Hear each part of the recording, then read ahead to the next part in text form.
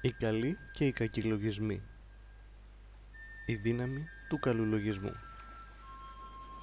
Γέροντα, στην Παλαιά Διαθήκη, στο Δέλτα βιβλίο των Μακαβαίων, αναφέρεται «Ο ευσεβής λογισμός δεν είναι εκριζωτής των παθών, αλλά ανταγωνιστής».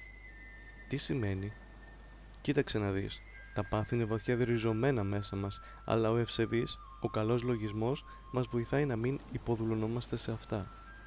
Όταν ο άνθρωπος φέρνει όλο καλούς λογισμούς και σταθεροποιήσει μια καλή κατάσταση, τα πάθη πάβουν να ενεργούν, οπότε είναι σαν να μην υπάρχουν. Δηλαδή ο ευσεβής λογισμός δεν ξεριζώνει τα πάθη, αλλά τα πολεμάει και μπορεί να τα καταβάλει. Νομίζω ο συγγραφέας περιγράφει τι μπόρεσαν να υποφέρουν οι Άγιοι Επταπέδες, η μητέρα τους Αγία Σολομονή και ο διδάσκαλός τους, Άγιος Ελεάζαρος, έχοντας ευσεβείς λογισμούς για να δείξει ακριβώς τη δύναμη του καλού λογισμού. Ένας καλός λογισμός ισοδυναμεί με μια πολύ ωραία γρυπνία. Έχει μεγάλη δύναμη, όπως τώρα κάποια νεόπλα σταματούν με ακτίνες λέιζερ τον πύραυλο στη βάση του και τον εμποδίζουν να εκτοξευθεί. Έτσι και οι καλοί λογισμοί προλαβαίνουν και καθυλώνουν τους κακούς λογισμούς στα αεροδρόμια του διαβόλου από τα οποία ξεκινούν. Γι' αυτό προσπαθήστε όσο μπορείτε πριν προλάβει ο πειρασμός να σας φυτέψει κακούς λογισμούς. Να φυτεύετε εσείς καλούς λογισμούς για να γίνει η καρδιά σας ανθόκηπος και να συνοδεύετε η προσευχή σας από τη Θεία Ευωδία της καρδιάς σας. Όταν κανείς κρατά έστω και λίγο αριστερό, δηλαδή κακό λογισμό για κάποιον, οποιοδήποτε άσκηση και αν κάνει, νηστεία, αγρυπνία κλπ. πάει χαμένη. Σε τι θα τον βοηθήσει η άσκηση, αν δεν αγωνίζεται παράλληλα να μην δέχεται του, τους κακούς λογισμούς, γιατί να μην αδειάσει από το πιθάρι πρώτα όλο το κατακάθι του λαδιού που είναι μόνο για σαπούνι και ύστερα να βάλει το καλό λάδι, αλλά βάζει το καλό με το άχρηστο και το μουρνταρεύει ένας αγνός καλός λογισμός έχει μεγαλύτερη δύναμη από κάθε άσκηση. Κάποιος νέος λόγου χάρη πολεμείται από τον διάβολο και έχει καθάρτους λογισμούς και κάνει αγρυπνίες, νηστείες, τριήμερα για να απολογεί από αυτούς. Ένας αγνός λογισμός όμως που θα φέρει έχει μεγαλύτερη δύναμη και από αγρυπνίες και από νηστείες που κάνει και τον βοηθάει πιο θετικά.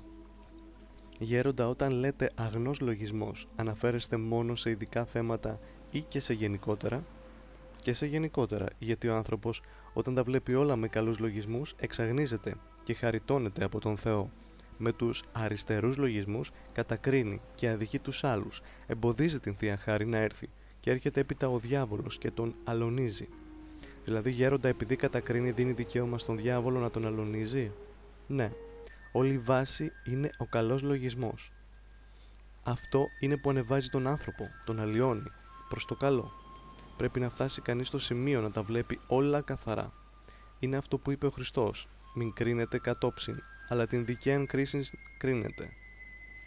Μετά φτάνει ο άνθρωπος σε μια κατάσταση που βλέπει τα πάντα με τα πνευματικά μάτια, όχι με τα ανθρώπινα. Όλα τα δικαιολογεί με την καλή έννοια.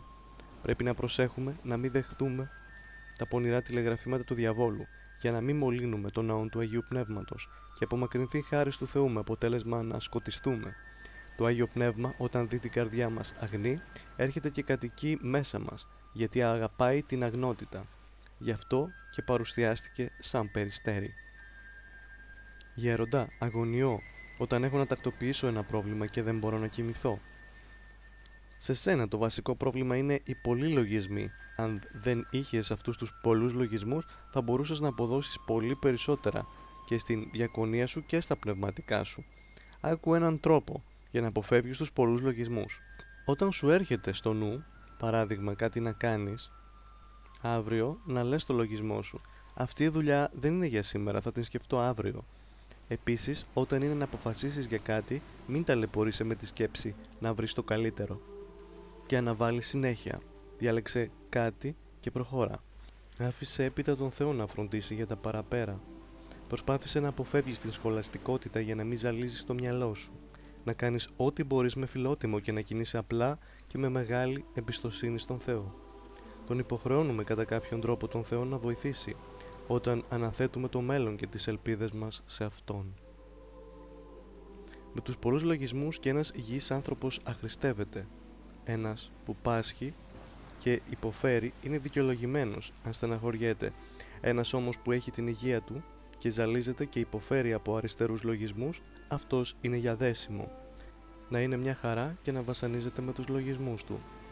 Στην εποχή μας η μεγαλύτερη αρρώστια είναι οι μάτιοι λογισμοί των κοσμικών ανθρώπων. Οι άνθρωποι όλα μπορεί να τα έχουν εκτός από καλούς λογισμούς. Ταλαιπωρούνται γιατί δεν αντιμετωπίζουν τα πράγματα πνευματικά. Λόγου χάρη, ξεκινάει κανείς να πάει κάπου. Παθαίνει μια μικρή βλάβη η μηχανή του αυτοκινήτου και καθυστερεί λίγο να φτάσει στον προορισμό του.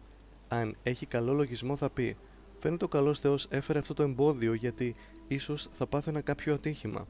Αν δεν είχα αυτή την καθυστέρηση, πώς να σε ευχαριστήσω, Θεέ μου; Γι' αυτό και δοξάζει τον Θεό. Ενώ αν δεν έχει καλό λογισμό, δεν θα αντιμετωπίσει πνευματικά την κατάσταση. Θα τα βάλει με το Θεό και θα βρίζει. Να, θα πήγαινα νωρίτερα, άργησα, τι αναποδιά. Και αυτός ο Θεός. Ο άνθρωπος όταν δέχεται ό,τι του συμβαίνει με δεξιό λογισμό βοηθιέται. Ενώ όταν δουλεύει αριστερά βασανίζεται, λιώνει, παλαβώνει. Μια φορά πριν από χρόνια μπήκαμε σε ένα φορτηγό που είχε για καθίσματα κάτι σανίδες για να έρθουμε από την Ουρανούπολη στην Θεσσαλονίκη.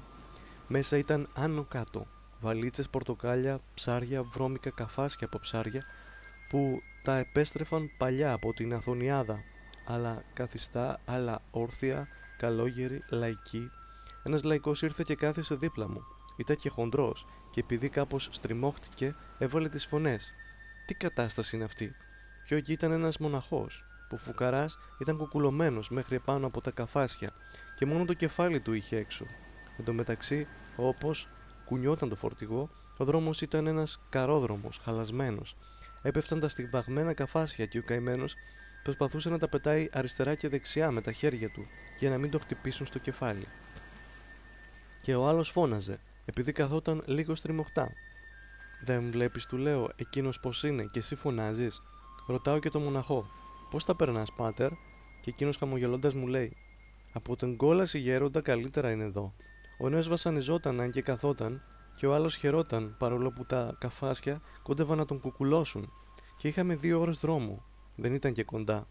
Ο νους του λαϊκού γύριζε στην άνεση που θα είχε αν ταξίδευε με λεωφορείο και πήγαινε να σκάσει. Ενώ ο μοναχός σκεφτόταν την στεναχώρια που θα είχε αν βρισκόταν στην κόλαση. Και ένιωθε χαρά, σκέφτηκε. Σε δύο ώρες θα φτάσουμε και θα κατεβούμε, ενώ οι καημένοι στην κόλαση ταλαιπωρούνται αιώνια. Ύστερα εκεί δεν έχει καφάσια, κόσμο κλπ. Αλλά είναι κόλαση. Δόξα ο Θεός, εδώ είναι καλύτερα. Πού οφείλεται γέροντα η διαφορά εμπιστοσύνης λόγω χάρη δύο υποτακτικών προς το γέροντά τους, Στο λογισμό. Μπορεί κανείς να έχει χαλασμένο λογισμό για οτιδήποτε και για οποιονδήποτε. Αν ο άνθρωπος δεν έχει καλό λογισμό και δεν βγάζει τον εαυτό του από τις ενέργειές του, αν ενεργεί δηλαδή με ιδιοτέλεια, δεν βοηθιέται ούτε και από έναν Άγιο. Όχι Άγιο Γέροντα ή Αγία Γερόντισσα να έχει, όχι τον Άγιο Αντώνιο να έχει γέροντα, αλλά και όλους τους Αγίους δεν μπορεί να βοηθηθεί. Ούτε ο ίδιος ο Θεός δεν μπορεί να βοηθήσει έναν τέτοιον άνθρωπο, αν και το θέλει πολύ. Όταν κανείς αγαπάει τον εαυτό του, έχει δηλαδή φιλαυτία, όλα τα ερμηνεύει όπως τα αγαπάει ο εαυτός του. Και βλέπεις, όλοι τα ερμηνεύουν αμαρτωλά, άλλοι όπως τους αναπαύει και σιγά σιγά γίνονται φυσιολογικές αυτές οι παράλογες ερμηνείες τους, όπως κι αν φερθείς σκανδαλίζονται. Είναι μερικοί που αν τους προσέξεις λίγο, αν τους πεις ένα λόγο, πετούν. Αν δεν τους προσέξεις, λυπούνται πολύ, πιάνουν τα άκρα, που είναι του πειρασμού. Βλέπουν λόγω χάρη μια κίνηση και λένε «Α, έτσι θα έγινε» και ύστερα καταλήγουν να είναι σίγουροι ότι έτσι έγινε ή βλέπουν τον άλλον σοβαρό και νομίζουν ότι κάτι έχει μαζί τους, ενώ ο άλλος μπορεί να είναι σοβαρός, γιατί τον απασχολεί κάτι. Προημερών ήρθε και σε μένα κάποιος και μου είπε «Γιατί παλιά μου μιλούσε ο τάδε και τώρα δεν μου μιλάει». Του έκανα μια παρατήρηση, μήπως γι' αυτό; Κοίταξε του λέω, μπορεί να σε είδε και να μην σε πρόσεξε ή είχε κανέναν άρρωστο και είχε το νου του να ψάξει για γιατρό ή να βρει συνάλλαγμα για να πάει στο εξωτερικό κλπ. Και πράγματι, ο άλλος είχε άρρωστο άνθρωπο, είχε ένα σωρό φροντίδες και αυτός είχε την απέτηση να σταθεί να του μιλήσει και έβαζε ένα σωρό λογισμούς. Οι καλοί λογισμοί φέρνουν την πνευματική υγεία. Γέροντα, ποια είναι τα χαρακτηριστικά του αδύνατου λογισμού; Τι εννοείς, πρώτη φορά το ακούω αυτό. είχατε πει το να βάλει κανείς αριστερό λογισμό να παρεξηγήσει μία συμπεριφορά. Και το είπα αδύνατο λογισμό αυτό; Θυμήθηκα εκείνον που ήθελε να μείνει κοντά σας ως υποτακτικός και του είπατε «Δεν σε κρατώ γιατί έχεις αδύνατο λογισμό». «Όχι, δεν το είπα έτσι. Δεν σε παίρνω», του είπα για υποτακτικό, γιατί δεν έχεις υγεία πνευματική. «Τι θα πει υγεία πνευματική» με ρωτάει. «Δεν έχεις καλούς λογισμούς», του λέω. Σαν άνθρωπος θα έχω τα κουσούρια μου και σαν καλόγερος τόσα χρόνια θα έχω και μερικές αρετές. Αν δεν έχεις καλό λογισμό θα βλάπτεσαι και από τα κουσούρια μου και από τις αρετές μου. Για ένα μικρό παιδί μπορεί να πει κανείς ότι έχει αδύνατο λογισμό γιατί είναι ακόμα ανώριμο, όχι όμως για ένα μεγάλο. Όλοι οι μεγάλοι γέροντα είναι όριμοι. Μερικοί από το κεφάλι τους δεν οριμάζουν. Άλλο αν δεν τους κόβει. Όταν κάποιος δεν κινείται, απλά λογισμός του πηγαίνει στο κακό και όλα τα παίρνει στραβά. Αυτός δεν έχει υγεία πνευματική και δεν βοηθιέται ούτε από το καλό, βασανίζεται και με το καλό. Αν δούμε γέροντα μια ταξία, συμφέρει να ψάξουμε να βρούμε ποιος την έκανε. Ψάξε πρώτα να δεις μήπως την έκανες εσύ. Αυτό είναι πιο καλό. Όταν όμως γέροντα μου δίνουν αφορμές οι άλλοι, εσύ πόσες αφορμές έδωσες; Αν το σκεφτείς αυτό, θα καταλάβεις ότι κάνεις λάθος, αντιμετωπίζοντας έτσι τα πράγματα. Και όταν λέμε «Αυτό μάλλον θα το έκανε η τάδε, αδελφή», είναι και αυτό αριστερός λογισμός. Είσαι σίγουρη πως το έκανε αυτή η αδελφή; Όχι, αλλά επειδή και άλλη φορά έκανε κάτι ανάλογο. Πάλι αριστερός λογισμός είναι, αφού δεν είσαι σίγουρη. Ύστερα ακόμη και αν το έκανε αυτή η αδελφή, ποιος ξέρει πώς και γιατί το έκανε. Όταν όμως γέροντα βλέπω λόγου χάρη ότι μία αδελφή έχει κάποιο πάθος, γερόντισα είσαι. Η γερόντισα φέρει ευθύνη γι' αυτό. Πρέπει να εξετάζει τα πάθη σας. Εσείς όμως, γιατί να εξετάζετε τα πάθη μιας άλλης; Ακόμα δεν έχετε μάθει να κάνετε δουλειά στον εαυτό σας. Αν θέλετε να κάνετε δουλειά στον εαυτό σας, να μην εξετάζετε τι κάνουν οι άλλοι γύρω σας, αλλά να φέρνετε καλούς λογισμούς. Και για τα καλά και για τα άσχημα που βλέπετε στους άλλους. Άσχετα με τι σκοπό κάνει κάτι ο άλλος, εσείς βάλτε έναν καλό λογισμό. Ο καλός λογισμός έχει μέσα αγάπη, αφοπλίζει τον άλλον και τον κάνει να σου φερθεί καλά. Θυμάστε εκείνες τις καλόγριες που πέρασαν το ληστή για αβά; Όταν αποκαλύφθηκε νόμιζαν ότι κάνει τον διαχριστόν σαλό και παριστάνει τον ληστή και άλλο τόσο τον είχαν σε ευλάβεια. Τελικά έσωσαν και αυτόν και τους συντρόφους του. Όταν γέροντα μια αδελφή μου λέει κάποιο ψέμα και αν αναγκάστηκε εξαιτίας σου να πει αυτό το ψέμα ή αν ξέχασε και αυτό που σου είπε δεν είναι ψέμα. Ζητάει λόγου χάρη η αρχοντάρισα από την μαγείρισα σαλάτα και εκείνη της λέει δεν έχω, ενώ η αρχοντάρισα ξέρει ότι έχει. Αν η αρχοντάρισα δεν έχει καλούς λογισμούς θα πει ψέματα μου λέει, αν όμως έχει καλούς λογισμούς θα πει η καημένη ξέχασε ότι έχει σαλάτα γιατί είχε πολλή δουλειά ή την κράτησε για κάποια άλλη περίπτωση. Δεν έχεις πνευματική υγεία, γι' αυτό σκέφτεσαι έτσι. Αν είχες πνευματική υγεία, θα έβλεπες και τα ακάθαρτα καθαρά. Όπως θα έβλεπες τα φρούτα, έτσι θα έβλεπες και την κοπριά, γιατί η κοπριά βοήθησε να γίνουν τα φρούτα. Όποιος έχει καλούς λογισμούς, έχει πνευματική υγεία και το κακό το μετατρέπει σε καλό. Θυμάμαι στην κατοχή, όσα παιδιά είχαν γερό οργανισμό, έτρωγαν με όρεξη ένα κομμάτι μπομπότα και ήταν όλο υγεία ενώ κάτι πλουσιόπεδα παρόλο που έτρωγαν ψωμί με βούτυρο επειδή δεν είχαν γέρο οργανισμό ήταν φυλάστενα. Έτσι και στην πνευματική ζωή. Ένας, αν έχει καλούς λογισμούς και τον χτυπήσεις άδικα, θα πει: Το επέτρεψε ο Θεός για να εξοφλήσω παλιά μου σφάλματα. Δόξα τω Θεώ. Ενώ ένας άλλος που δεν έχει καλούς λογισμούς και τον πας να το χαϊδέψεις, θα νομίζει πως πας να τον χτυπήσεις. Πάρτε παράδειγμα από έναν μεθυσμένο. Αν είναι κακός, τα σπάζει όλα επάνω στο μεθύσι. Αν είναι καλός ή κλαίει ή θα συγχωράει. Ένας μεθυσμένος έλεγε «Χαρίζω από έναν κουβά σε όποιον με φθονεί». Μου είπαν μερικοί ότι σκανδαλίζονται γιατί βλέπουν πολλά στραβά στην εκκλησία και εγώ τους είπα «Αν ρωτήσεις μια μίγα, έχει λουλούδια εδώ στην περιοχή» θα σου πει «Δεν ξέρω, εκεί κάτω στο λάκκο έχει κονσερβοκούτια, κοπριές, ακαθαρσίες και θα σου αραδιάσει όλες τις βρωμιές τις οποίες πήγε».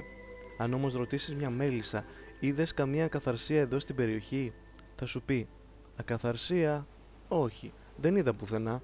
Εδώ ο τόπος είναι γεμάτος από ευωδιαστά λουλούδια και θα σου αναφέρει ένα σωρό λουλούδια του κήπου, του αγρού κλπ. Βλέπεις η μύγα ξέρει μόνο που υπάρχουν σκουπίδια, ενώ η μέλισσα ξέρει πως εκεί πέρα είναι ένας κρίνος, πιο εκεί ένα ζουμπούλι. Όπως έχω καταλάβει, άλλοι άνθρωποι μοιάζουν με τη μέλισσα και άλλοι με τη μύγα. Αυτοί που μοιάζουν με τη μύγα ψάχνουν σε κάθε περίπτωση να βρουν τι κακό υπάρχει και ασχολούνται με αυτό. Δεν βλέπουν πουθενά κανένα καλό. Αυτοί που μοιάζουν με τη μέλισσα βρίσκουν παντού ό,τι καλό υπάρχει. Ο βλαμμένος άνθρωπος βλαμμένα σκέφτεται. Όλα τα παίρνει αριστερά. Όλα τα παίρνει ανάποδα. Ενώ όποιος έχει καλούς λογισμούς, ό,τι και να δει, ό,τι και να του πεις, θα βάλει καλό λογισμό. Μια φορά ένα παιδί Δευτέρας γυμνασίου ήρθε στο καλύβι και χτύπησε το σιδεράκι στην πόρτα. Είχε ένα τσουβάλι γράμματα να διαβάσω, αλλά είπα ας βγω να δω τι θέλει. Τι είναι παλικάρι, του λέω. Αυτό είναι το καλύβι του πατρός Πα... Παϊσίου, με ρωτάει. Θέλω τον πατέρα Παΐσιο. Αυτό είναι, αλλά αυτός δεν είναι εδώ, πήγε να αγοράσει τσιγάρα, του λέω. Φαίνεται κάποιον πήγε να εξυπηρετήσει, μου λέει, με καλό λογισμό. Για τον εαυτό του πήγε να τα αγοράσει, του λέω. Του είχαν τελειώσει και έκανε σαν τρελός γιατί για τα τσιγάρα. Εμένα με άφησε εδώ μόνο μου και ούτε ξέρω πότε θα γυρίσει. Αν δω ότι αργεί θα σηκωθώ να φύγω κι εγώ.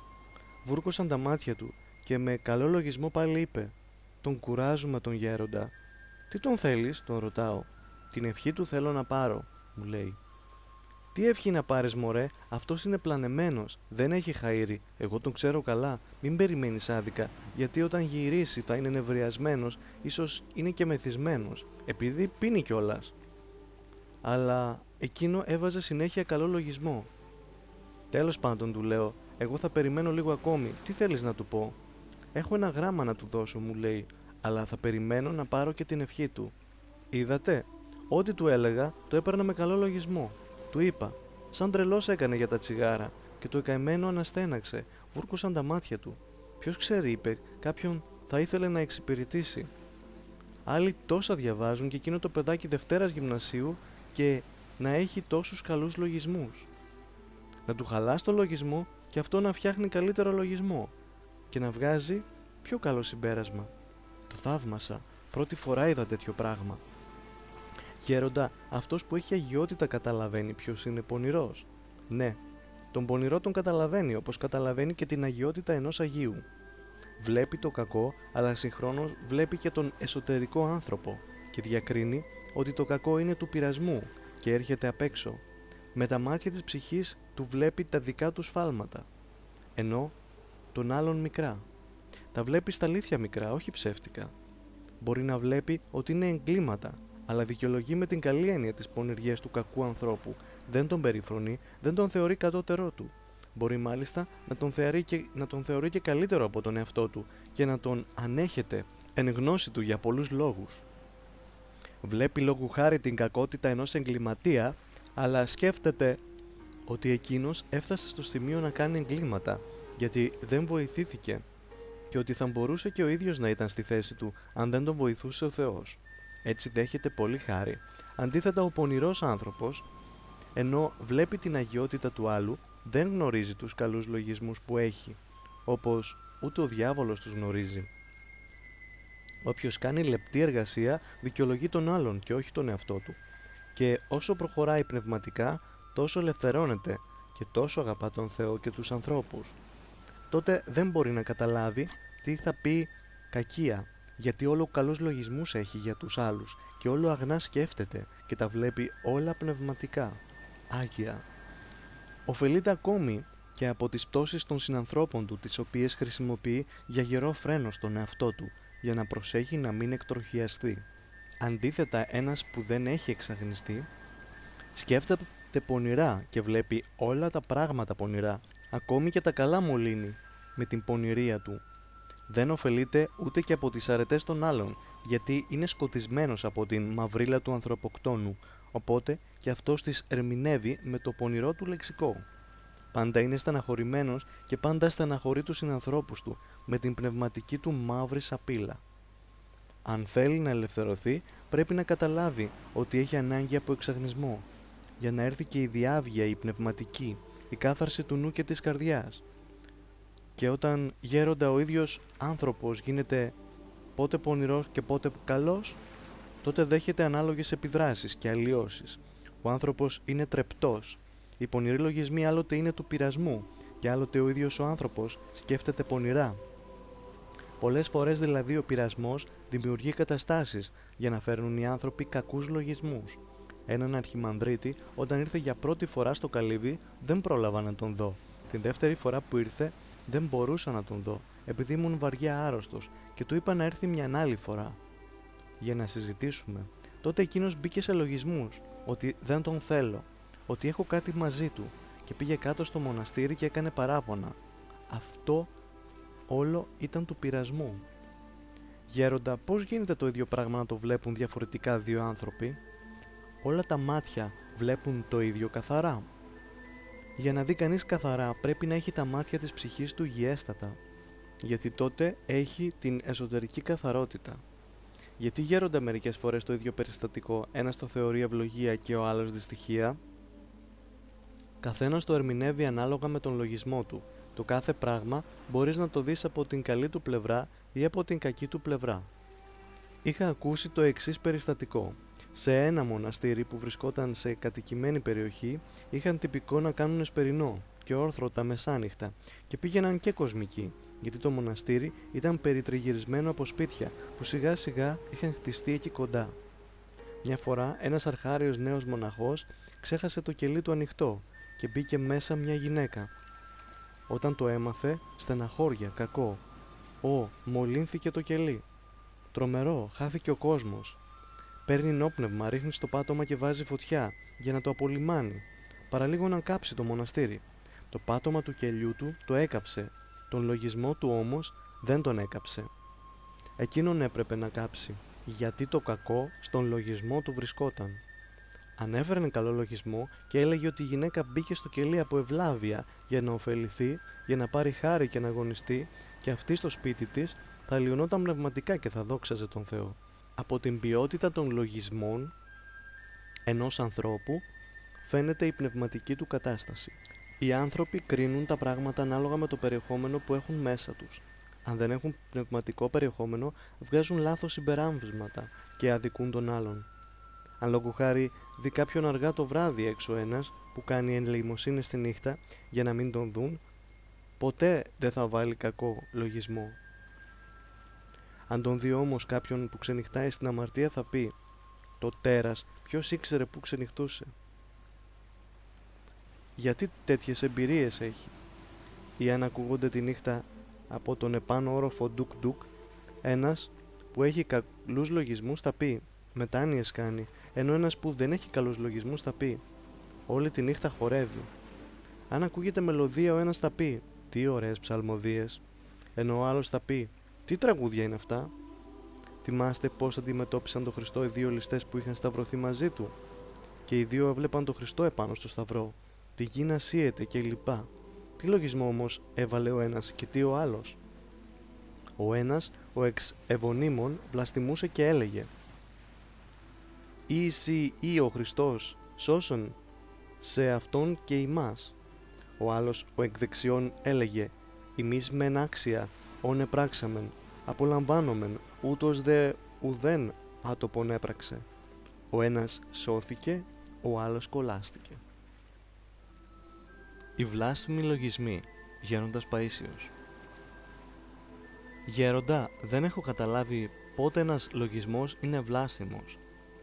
Όταν μας έρχονται στο νου άσχημες εικόνες για τον Χριστό, για την Παναγία, για τους Αγίους ή για κάτι θείο και ιερό ή ακόμη για τον πνευματικό μας πατέρα κλπ. Αυτά είναι βλάσφημοι λογισμοί. Αυτούς τους λογισμούς δεν πρέπει να τους λέει κιόλας κανείς. Ούτε στο πνευματικό. Στο πνευματικό αν πούνε μου περνούν βλάστημοι λογισμοί για τον Χριστό ή για το Άγιο Πνεύμα ή για την Παναγία ή για τους Αγίους ή για σένα, το πνευματικό μου, αυτό αρκεί. Αυτές οι βλασφημίες και οι αμαρτίες είναι όλες του διαβόλου, δεν είναι δικές μας. Γι' αυτό δεν χρειάζεται να στεναχωριόμαστε και για τις αμαρτίες του διαβόλου. Όταν ήμουν αρχάριος μοναχός, ένα διάστημα μου έφερνε ο διάβολος ακόμα και μέσα στην εκκλησία βλάστημους λογισμούς και στεναχωριόμουν πολύ. Ό,τι άκουγα να λένε οι άλλοι όταν ήμουν στρατιώτης, βρισχές κλπ. τα έφερνε ο διάβολος στο νου μου για τους Αγίους. Μου έλεγε ο πνευματικός: Αυτοί οι λογισμοί είναι του διαβόλου. Από τη στιγμή που στεναχωριέται ο άνθρωπος για τους άσχημους λογισμούς που περνάει από το μυαλό του για τα ιερά πράγματα, αυτό είναι απόδειξη ότι δεν είναι δική του αλλά έρχονται απ' έξω. Εγώ πάλι στεναχωριόμουν. Έφευγα, πήγαινα στο παρεκκλήσι του τιμίου προδρόμου να προσευχηθώ και εμποδίαζε η εικόνα του όταν προσκυνούσα. Όταν μου ερχόταν πάλι τέτοιοι λογισμοί, ξαναπήγαινα στο παρεκκλήσι. Πάλι ερχόταν μια ευωδία από την εικόνα. Μια μέρα, την ώρα της Θείας Λειτουργίας στο Τρισάγιο, έψελνα κι εγώ σιγανά το Άγιος ο Θεός του Νιλέως. Τότε βλέπω να μπαίνει από την πόρτα της λιτής ένα θηρίο μεγάλο, φοβερό, με σχηλίσιο κεφάλι. Πετούσε φλόγες από το στόμα και από τα μάτια του. Γυρίζει και μου δίνει δυο μούντζες, γιατί έψαλα το Άγιος ο Θεός. Κοιτάζω δίπλα μου, μήπως το είδε και κάποιος άλλος. Κανείς δεν το είχε δει. Μετά είπα στον πνευματικό, αυτό και αυτό συνέβη.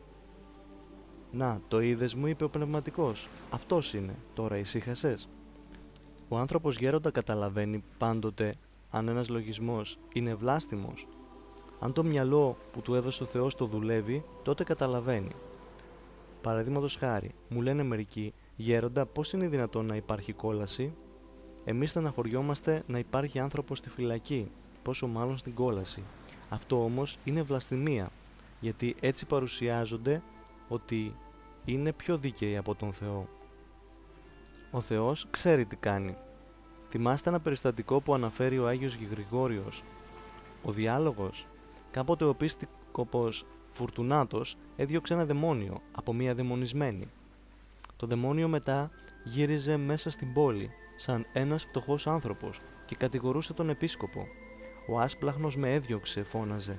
Βρε να πάρει ευχή του λέει κάποιος, γιατί σε έδιωξε, πώς το έκανε αυτό, Πέρνα μέσα στο δικό μου σπίτι. Πέρασε μέσα ο διάβολος. Σε λίγο του λέει «Κρυώνω, ρίξε ξύλα στο τζάκι». Ρίχνει εκείνος ξύλα στο τζάκι. Βάζει κούτσουρα, δώσ' του φωτιά. Και τελικά αφού έγινε καλό, καμίνι, μπαίνει ο διάβολος στο παιδί του και το καημένο δαιμονίστηκε και πήδηξε στη φωτιά και κάηκε. Τότε κατάλαβε εκείνος τι έδιωξε ο επίσκοπος και τι δέχτηκε αυτός. Για να τον διώξει ο επίσκοπος Φουρτουνάτος κάτι ήξερε. Γέροντα, να μας λέγατε κάτι για την καλή αδιαφορία. Η καλή αδιαφορία χρειάζεται σε έναν υπερευαίσθητο που τον ταλαιπωρεί το ταγκαλάκι με διάφορους λογισμούς. Τότε καλό είναι να γίνει ο άνθρωπος λίγο ανέστητος, με την καλή έννοια, και να μην λεπτολογεί μερικά πράγματα.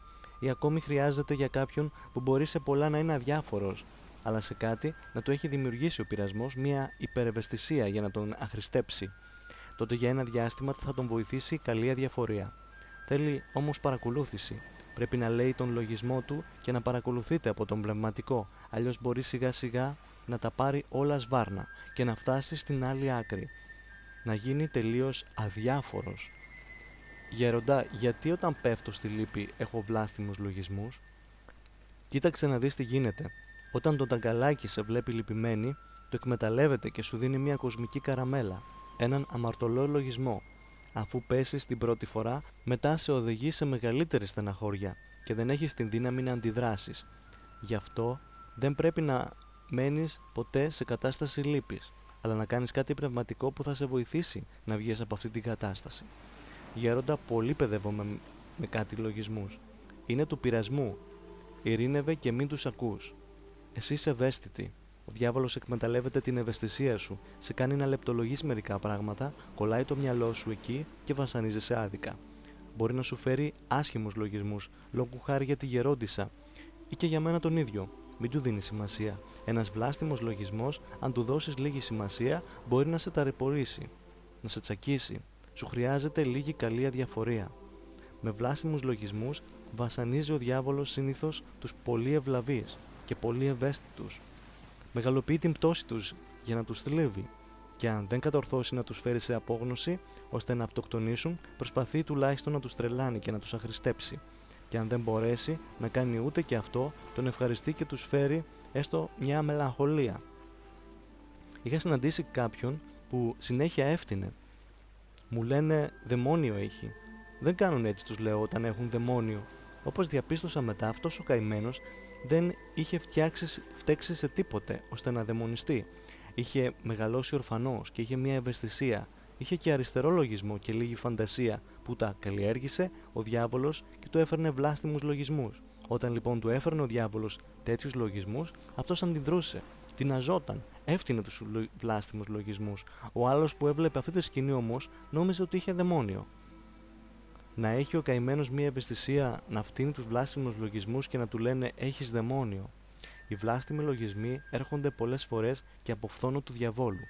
Καμιά φορά μάλιστα μετά από αγρυπνία, όταν κανείς είναι πτώμα από την κούραση και δεν μπορεί να αντιδράσει, του φέρνει ο κακούργος διάβολος βλάστημου λογισμούς. Και έπειτα, για να τον μπλέξει ή για να τον ρίξει στην απόγνωση, αρχίζει να του λέει: Τέτοιους λογισμούς ούτε ο διάβολος δεν φέρνει τώρα δεν θα σωθείς. Ακόμα και για το Πανάγιο Πνεύμα μπορεί να του φέρει βλάστημους λογισμούς και μετά να του πει ότι αυτή η αμαρτία δεν συγχωρείται κλπ. Γέροντα μπορεί να έρθει εξαιτίας μας ένας βλάστημο λογισμός; Ναι, μπορεί και ο ίδιος ο άνθρωπος να δώσει αφορμή.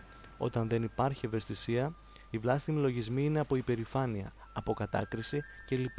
Γι' αυτό, όταν κάνετε άσκηση και έχετε λογισμούς απιστίας, βλάστημους, να ξέρετε ότι η άσκηση γίνεται με υπερηφάνεια. Σκοτίζεται ο νους από την περηφάνεια, αρχίζει η απιστία και απογυμνώνεται ο άνθρωπος από την χάρη του Θεού. Ή όταν κανείς ασχολείται με δογματικά θέματα χωρίς να έχει τέτοιες προϋποθέσεις, μετά έχει βλάστημους λογισμούς. Γέροντα, ο Αβάς Ισαάκ λέει ότι νικά με τα πάθη δια της ταπεινώσεως και όχι δια της περιφρονήσεως. Η περιφρόνηση ενός πάθους και η περιφρόνηση των βλάστημων λογισμών είναι το ίδιο; Όχι. Η περιφρόνηση ενός πάθους έχει υπερηφάνεια, αυτοπεποίθηση και το χειρότερο δικαιολογία. Δικαιολογείς δηλαδή τον εαυτό σου και δεν δέχεσαι το πάθος σου. Είναι σαν να λες δεν είναι δικό μου αυτό το πάθος, δεν έχει σχέση με, με μένα και δεν αγωνίζεσαι να απαλλαγείς από αυτό. Τους βλάστημους λογισμούς όμως πρέπει να τους περιφρονούμε γιατί όπως είπα δεν είναι δική μας αλλά του διαβόλου. Όταν υποκρίνεται κανείς μπροστά στους άλλους ότι έχει ένα πάθος, παραδείγματος χάρη όταν κάνει το γαστρίμαργο, εμπέζει τον διάβολο, τότε υποκρίνεται με την καλή υποκρισία. Δεν είναι ότι εμπέζει τον διάβολο, εμπέζει τον διάβολο όταν σου φέρνει βλάστημους λογισμούς και εσύ ψέλνεις. Γέροντα, πώς να διώξω ένα βλάστημο λογισμό την ώρα της ακολουθίας; Με την ψαλτική. Άνοιξω το στόμα σου δεν ξέρεις μουσικά; Να μην τον ξεσκαλίζεις, περιφρόνησέ τον. Όταν συζητάει κανείς τέτοιους λογισμούς την ώρα της προσευχής, είναι σαν να ξεσκαλίζει ο στρατιώτης μια χειροβομβίδα την ώρα που δίνει αναφορά. Και αν επιμένει, αν επιμένει, να ξέρεις ότι κάπου μέσα σου έχει ένα στέκι. Τέλεια λύση. Η περιφορώνηση στον διάβολο, διότι αυτός κάνει το φροντιστήριο της πονηριάς. Καλύτερα εκείνη την ώρα να μιλάμε ούτε την ευχή, γιατί δείχνουμε ότι μας απασχολεί το θέμα και ο διάβολος στοχεύει στο αδύνατο σημείο και μας βομβαρδίζει συνέχεια με βλάστημους λογισμούς. Καλύτερα να ψέλνουμε. Βλέπεις και τα μικρά παιδιά όταν θέλουν να περιφρονήσουν κάποιο παιδί που του μιλάει, λένε τραλαλά, τραγουδάνε. Το ίδιο να κάνουμε κι εμείς τον διάβολο. Τα ψέλνουμε όμως, δεν θα τραγουδάμε. Η ψαλμοδία είναι προσευχή στον Θεό, αλλά και περιφρόνηση στον διάβολο. Οπότε την τρώει και από εδώ ο πονηρός, την τρώει και από εκεί και θα σκάσει. Όταν είμαι έτσι γέροντα, δεν μπορώ να ψάλω, δυσκολεύομαι ακόμη και να πάω να κοινωνήσω. Αυτό είναι πολύ επικίνδυνο. Σου κάνει αποκλεισμό το ταγκαλάκι. Να πηγαίνεις να ψάλεις και να κοινωνάς, γιατί δεν είναι δική σου αυτή η λογισμή. Μόνος σε αυτό να μου κάνεις υπακοή, να ψάλεις ένα άξιο νεστή για να πάρει τα ναύλα του το ταγκαλάκι και να φύγει. Δεν σου είχα πει για ένα καλογέρι; Είχε έρθει 12 χρονών στο Άγιο Όρος. Ήταν ορφανό, είχε χάσει τη στοργία από την αρχική του μάνα και είχε δώσει όλη του την αγάπη στην Παναγία. Την αισθανόταν σαν μάνα του. Να έβλεπες με τι ευλάβεια προσκυνούσε τις εικόνες. Ύστερα ο πειρασμός εκμεταλλεύτηκε αυτή την αγάπη και του έφερε βλάστημους λογισμούς. Το καημένο δεν πήγαινε ούτε να προσκυνήσει τις εικόνες. Το έμαθε ο γέροντάς του, το πήρε από το χέρι και το έβαλε να σπαστεί την εικόνα της Παναγίας και του Χριστού στο πρόσωπο, στα χέρια και αμέσως ο διάβολος έφυγε. Είναι κατά κάποιον τρόπο ανέδεια να ασπαστείς στο πρόσωπο την Παναγία και τον Χριστό, αλλά αυτό το έκανε ο γέροντας για να διώξει τους λογισμούς που είχε το καλογέρι. Γέροντα, όταν έχω προσβολή βλάστημου λογισμού χωρίς συγκατάθεση δική μου, φταίω. Αν στεναχωρηθείς και δεν το δεχτείς, δεν είναι τίποτε.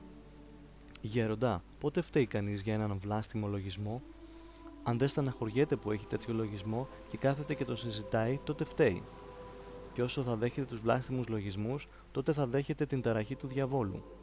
Γιατί όταν του περνά ένας βλάστημος λογισμός και τον εξετάζει και τον συζητάει με το μυαλό του, δέχεται ένα μικρό δαιμονισμό. Και πώς θα φύγουν γέροντα τέτοιοι λογισμοί; Αν στεναχωριέται κάποιος όταν του έρχονται τέτοιοι λογισμοί και δεν τους συζητάει, θα κόβονται μόνοι τους, γιατί δεν θα τροφοδοτούνται. Δέντρο που δεν ποτίζεται θα ξεραθεί. Από την στιγμή όμως που κάποιος ευχαριστηθεί με αυτούς, έστω και λίγο, τους τρέφει. Ποτίζεται ο παλαιός άνθρωπος και δύσκολα θα ξεραθούν. Γέροντα μερικές φορές δέχομαι τους βλάστημους λογισμούς. Συγκατατίθεμαι και μετά το καταλαβαίνω, αλλά δεν μπορώ να τους διώξω. Εσύ ξέρεις τι παθαίνεις. Κάποια στιγμή έχεις αλλού το νου σου. Είσαι αφηρημένη και μαζεύεις με ανοιχτό στόμα. Έρχεται τότε το ταγκαλάκι, σου ρίχνει μέσα μια καραμέλα και εσύ αρχίζεις να την πιπιλίζεις.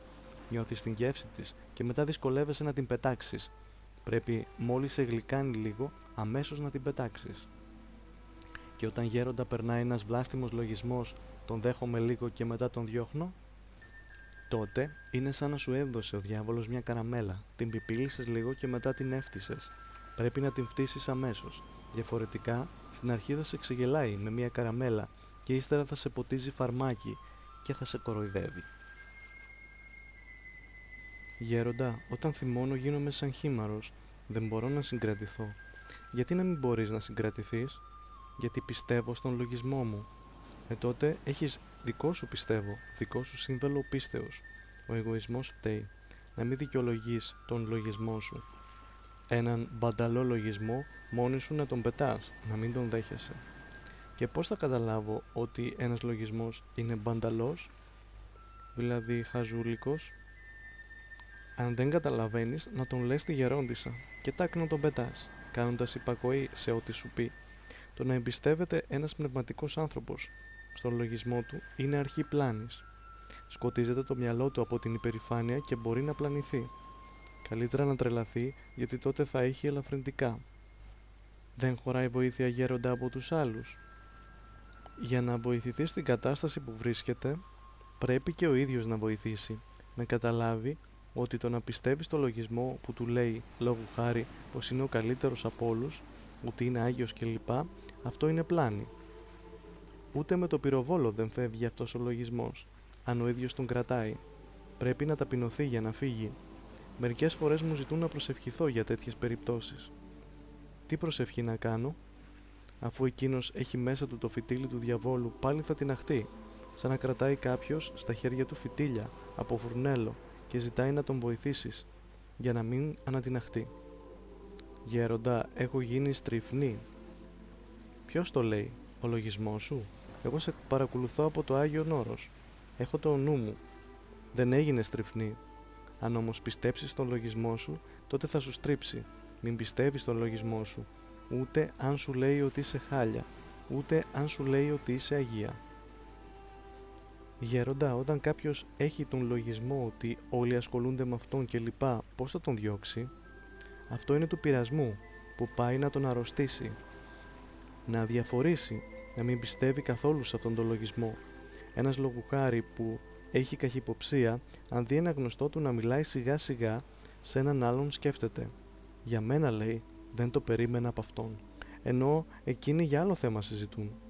Και αν δεν προσέξει, εξελίσσεται σιγά σιγά και πού φτάνει. Νομίζει ότι τον παρακολουθούν, ότι τον καταδιώκουν, ακόμη και αν έχει συγκεκριμένα στοιχεία, ότι οι άλλοι ασχολούνται με αυτόν, να ξέρει ότι και αυτά ο ίδιος ο εχθρός τα έχει τριάξει έτσι για να τον πείσει. Και πώς τα συνδυάζει ο διάβολος. Γνωρίζω ένα νέο που ενώ είναι εξυπνότατος, πιστεύει στον λογισμό του, που του λέει ότι δεν είναι ισορροπημένος. Με το να δέχεται τους λογισμούς που του φέρνει το ταγκαλάκι, του έχουν δημιουργηθεί ένα σωρό κόμπλεξ. Έκανε απόπειρα αυτοκτονίας. Έχει λιώσει τους γονείς του. Ο Θεός του έδωσε δυνάμεις και χαρίσματα, όλα όμως τα χρηστεύει ο εχθρός. Και έτσι βασανίζεται και αυτός και οι άλλοι. Δεν μπορώ να καταλάβω γιατί τους δέχονται αυτούς τους ταγκαλακίστικους λογισμούς και κάνουν τη ζωή τους βασανισμένη, τα βάζουν και με τον Θεό που τόσο πολύ μας ευεργετεί και μας αγαπάει. Όσα και αν πεις σε έναν τέτοιον άνθρωπο δεν ωφελεί. Εάν δεν πάψει να πιστεύεις στους λογισμούς που του φέρνει ο εχθρός, μόνον που θα κουράζεσαι. Γέροντα, ο ευαίσθητος είναι ψυχικά αδύνατος. Είναι άρρωστος; Όχι. Το φιλότιμο και η ευαισθησία είναι φυσικά χαρίσματα. Αλλά κατορθώνει δυστυχώς ο διάβολος να τα εκμεταλλεύεται. Έναν ευαίσθητο άνθρωπο τον κάνει συχνά να μεγαλοποιεί τα πράγματα για να μην μπορεί να σηκώσει κάποια δυσκολία ή να την σηκώνει για λίγο και μετά να κάμπτεται, να απογοητεύεται, να ταλαιπωρείται και τελικά να σακατεύεται. Αν αξιολογήσει την κληρονομική ευαισθησία θα γίνει ουράνια. Αν αφήσει να την εκμεταλλευτεί ο διάβολος θα πάει χαμένη. Γιατί αν δεν αξιοποιεί ο άνθρωπος τα χαρίσματά του, τα εκμεταλλεύεται ο διάβολος. Έτσι πετάει τα δώρα του Θεού. Αντί να ευγνωμονεί τον Θεό, τα παίρνει όλα ανάποδα. Ο ευαίσθητος, όταν πιστεύει στο λογισμό του, μπορεί να καταλήξει ακόμα και στο ψυχιατρίο, ενώ ο αδιάφορος, με το δεν βαριέσαι, δεν πάει βέβαια καλά, αλλά τουλάχιστον δεν καταλήγει και στο ψυχιατρίο. Γι' αυτό το ταγκαλάκι κυνηγάει τους ευαίσθητους ανθρώπους. Άλλοι πάλι βάζουν έναν λογισμό ή μάλλον το ταγκαλάκι τους φέρνει έναν λογισμό ότι έχουν κληρονομική επιβάρυνση και προσπαθεί να τους πείσει να πιστέψουν ότι κάτι έχουν. Τους φοβίζει για να τους ζαλίζει και να τους αχρηστέψει στα καλά καθούμενα. Αλλά και κάτι κληρονομικό αν υπάρχει, μπροστά στην χάρη του Θεού, τίποτα δεν μπορεί να σταθεί. Θυμάστε τον Άγιο Κυπριανό που από μάγος έγινε ιεράρχης της Εκκλησίας και μάρτης Χριστού.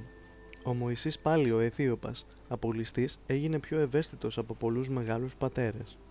Σε τι κατάσταση έφτασε, όταν πήγε να τον δει ο Άγιος Μακάριος τον ρώτησε «Τι να κάνω, με ενοχλεί ο κόσμος και δεν μπορώ να βρω ησυχία». Και εκείνος του είπε «Μωυσή, Μωυσή, είσαι πολύ ευαίσθητος, να πας στην Πετρέα Αραβία, γιατί δεν μπορείς εσύ να διώξεις τον κόσμο». Πέρασε στην ευαισθησία και τον Μέγα Αρσένιο, που ήταν από αρχοντική οικογένεια, μορφωμένος, καλλιεργημένος άνθρωπος, ενώ εκείνος ήταν ένας ληστής. Να, βλέπεις η χάρη του Θεού τι κάνει, αλλά είχε πολύ ταπείνωση. Γέροντα, αυτός που συχαίνεται, γιατί το παθαίνει, πες μου εσύ τι συχαίνεσαι. Όλα τα συχαίνομαι. Τότε όλα σε σένα θα έρχονται και τα σκουλίκια στα φρούτα ή στα όσπρια και καμιά τρίχα στο ψωμί κλπ. Έτσι γίνεται γέροντα. Δόξα ο Θεός, βλέπεις πόσο σε βοηθάει ο Θεός για να το ξεπεράσεις. Από το λογισμό δεν ξεκινάει γέροντα αυτό. Ας πούμε ότι βρήκε η αδελφή μια τρίχα. Ας την βγάλει στην άκρη. Αυτό είναι ευλογία. Δώστε σε μένα να την πάρω. Εγώ ευλογία. Αχ, θυμάμαι μια φορά στο Σινά. Πήγαμε κάπου με ένα μοναχό και του έδωσα δύο ροδάκινα. Τον βλέπω, δεν τα τρώει. Ήθελε να πάει να τα πλύνει για να τα φάει και τα κρατούσε στα χέρια, μην τα βάλει στην τσέπη και κολλήσουν μικρόβια και από την τσέπη. Ο αδελφός του, που είχε 8 παιδιά, μου έλεγε: Περισσότερος σαπούνι ξοδεύει αυτός για να πλύνει τα χέρια του παρά η γυναίκα μου με τα 8 παιδιά που πλένει. Και να δείτε τι έπαθε. Εκεί στο Σινά έδιναν σε έναν καλόγερο και έναν βεδουίνο για να τον εξυπηρετεί και να του πηγαίνει το φαγητό κλπ. Ο Βεδουίνος που έδωσαν σε αυτόν ήταν ο πιο βρώμικος από όλους κατάμαυρος, μαύριζαν τα ρούχα του, μύριζε ολόκληρος. Μία εβδομάδα έπρεπε να τον βάλεις στο μουσκιο για να τον καθαρίσεις. Τα χέρια του ήταν μην τα ρωτάς, έπρεπε να τον ξύσεις με τη σπάτουλα. Εν τω μεταξύ, όταν έπιανε το τσανάκι για να του πάει το φαγητό, έβαζε τα δυο του δάχτυλα μέσα. Φύγε, φύγε, του φώναζε εκείνος, μόλις τον έβλεπε. Τελικά, αυτός ο μοναχός ούτε δύο εβδομάδες δεν κάθισε στο Σινάμ. Έφυγε Θυμάμαι και στο κοινόβιο είχαμε ένα μοναχό που ως λαϊκός ήταν νοματάρχης. Τον είχαν βάλει διαβαστή, γιατί ήταν μορφωμένος. Τόσα χρόνια ήταν στο μοναστήρι και συχαινόταν. Πού να αγγίξει πόμολο. Με το πόδι άνοιγε την πόρτα ή σκουντούσε το μάνταλο με τον αγκώνα και μετά καθάριζε με ενόπνευμα το μανίκι που το ακουμπούσε. Ακόμα και την πόρτα της εκκλησίας με το πόδι την άνοιγε και επέτρεψε ο Θεός όταν γέρασε να σκουλικιάσουν τα πόδια του ιδίως το ένα με το οποίο άνοιγε τις πόρτες. Ήμουν παρανοσοκόμος όταν ήρθε για πρώτη φορά στο νοσοκομείο της Μονής με δεμένο το πόδι. Μου είπε ο νοσοκόμος να το ξύσω και εκείνος πήγε να φέρει κάτι γάζες. Όταν το άνοιξα, τι να δω. Πω πω, ήταν γεμάτο σκουλίκια. Πήγαινε στη θάλασσα, του λέω, πλην το να φύγουν τα σκουλίκια και έλα να κάνουμε αλλαγή. Πού είχε φτάσει, τι τιμωρία, εγώ τα έχασα. Μου λέει ο νοσοκόμος, κατάλαβες από τι είναι αυτό; Κατάλαβα, του λέω, επειδή ανοίγει την πόρτα με το πόδι. Και σε αυτή την κατάσταση γέροντα συνέχιζε να ανοίγει την πόρτα με το πόδι. Ναι, με το πόδι. Και είχε γεράσει καλόγερος. Δεν το κατάλαβε. Δεν ξέρω. Μετά πήγα στη μονή στο Μίου, στην Κόνιτσα. Τι θάνατο είχε ποιος ξέρει. Και έβλεπες εκεί στο κοινόβιο. Μερικοί νέοι μοναχοί πήγαιναν και έτρωγαν από το περίσσεμα που άφηναν στα πιάτα τους τα γεροντάκια για να πάρουν ευλογία. Μάζευαν τα περισσεύματα των κλασμάτων. Οι άλλοι ασπάζονταν το πόμολο γιατί το ακουμπούσαν οι πατέρες, και αυτός όταν προσκυνούσε τις εικόνες, μόλις που ακουμπούσε το μουστάκι του στην εικόνα. Και το μουστάκι, τι θα τραβούσε μετά με το ενόπνευμα. Όταν γέροντα κάτι τέτοιο γίνεται σε ιερά πράγματα, δεν είναι ανεβλάβεια. Μα από εκεί ξεκινάει κανείς και φτάνει πιο πέρα. Έφτασε στο σημείο να μην προσκυνάει, γιατί φοβόταν μήπως εκείνος που προσκύνησε πριν από αυτόν την εικόνα είχε καμία αρρώστια. Δηλαδή, για να μην συχαίνεται κανείς, δεν πρέπει να δίνει σημασία. Τις αβούρες που τρώνε οι άνθρωποι δεν τις βλέπουν.